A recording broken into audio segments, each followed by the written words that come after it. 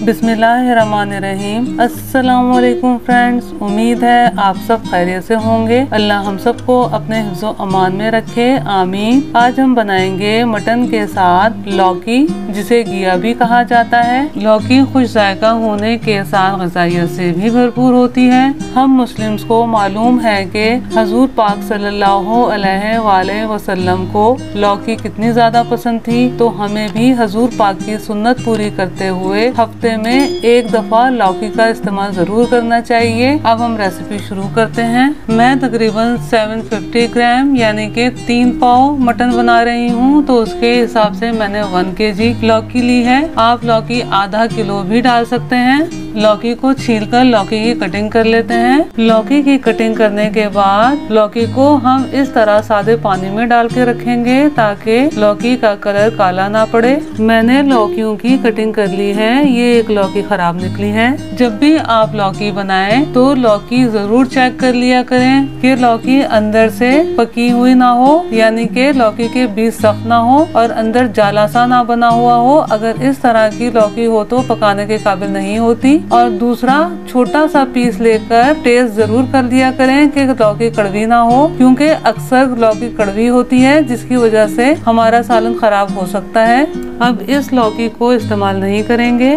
Half cup cooking oil medium flame पर गर्म हो गया है। इसमें वन फोर टी स्पून सफ़ेद ज़ीरा शामिल करेंगे। ज़ीरे को थोड़ा कड़कड़ा लेते हैं। अब ये एक बड़ी प्याज बारीक कटी हुई शामिल करेंगे। अब प्याज को हमने इतना फ्राई करना है कि प्याज का कलर थोड़ा चेंज हो जाए। प्याज फ्राई हो गई है। हमने प्याज को इतना ही फ्राई करना है। अब इसमें वन फोर्थ कप पानी शामिल कर लेते हैं ताकि प्याज मजीद फ्राई ना हो और इसी में हमारे मसाले भी भून के तैयार हो जाए। अब इसमें लहसुन, अदरक के साथ तमाम मसाले शामिल कर लेते हैं। डेढ़ टेबल स्पून लहसुन, अदरक का पेस्ट, डेढ़ टी स्पून नमक, दो टी स्पून लाल मिर्च पाउडर। नमक, मिर्चे हसबे जायका लीजिएगा। वन टी स्पून हल्दी पाउडर, दो टी स्पून धनिया पाउडर डालेंगे। अब इन तमाम मसालों को मीडियम फ्लेम पर पानी खुश्क होने तक भून लेते हैं।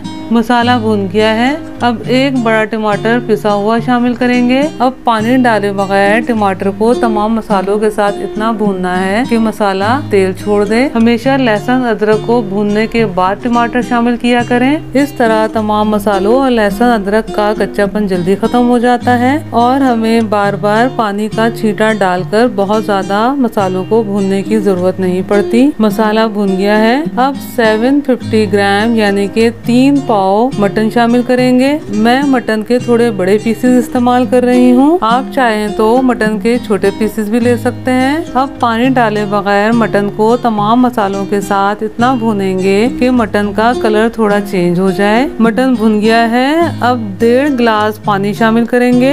अब मीडियम टू हाई फ्लेम पर एक उबाल आने देते हैं। उबाल आ गया है। अब प्रेशर कुकर को कवर करके तकरीबन 18 minute medium to high flame पर पकाएँगे।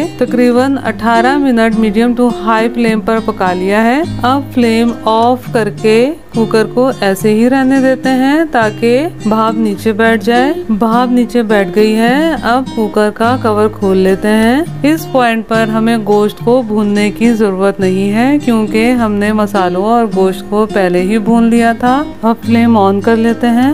अब इसमें तकरीबन हाफ़ लीटर पानी शामिल करेंगे। अब इसमें लौकी शामिल करेंगे। लौकी मैंने तकरीबन वन के जी ली थी, जिसमें से एक बड़े साइज़ की लौकी खराब निकली है। तो ये मेरे पास लौकी 750 ग्राम यानी कि तीन पाव रह गई है। लौकी आप अपनी मर्ज़ी से कम या ज़्यादा शामिल कर सकते हैं। मैं ग्रेवी थोड़ी पतली रख रही हूँ, इसलिए पानी मैंने हाफ़ लीटर डाला है। आप अपनी मर्ज़ी से ग्रेवी गाढ़ी या पतली रख सकते हैं। छह से सात अदद छोटी तीखी हरी मिर्चें शामिल करेंगे।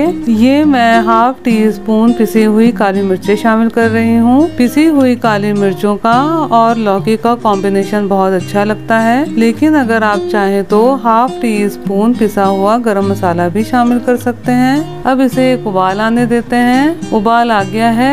अब कुकर को कवर करके तकरीबन चार से पाँच minute medium to high flame पर पकाएँगे। चार से पाँच मिनट लौकी को पका लिया है। भाप भी नीचे बैठ गई है। अब हम कुकर खोल लेते हैं। ये हमारा मज़ेदार मटन लौकी का सालन बनकर तैयार है। मटन और लौकी दोनों बहुत अच्छे तरीके से गल चुके हैं। अब सालन को हसबे ज़रूरत कटे हुए धनिए से गार्निश कर लेते हैं। आप ये मेरी रेसिपी ज़रूर ट्राई कीजिएगा और कमेंट्स करके ज़रूर बताइएगा कि आपको मेरी ये रेसिपी कैसी लगी। अल्लाह हम सब का दस्तरखान, हलाल रिस्क से, वसी से वसी तर फरमाए। आमीन। मुझे भी अपनी दुआ में याद रखिएगा, अपना बहुत ख्याल रखिएगा। अगली रेसिपी की वीडियो तक के लिए अल्लाह हाफिज।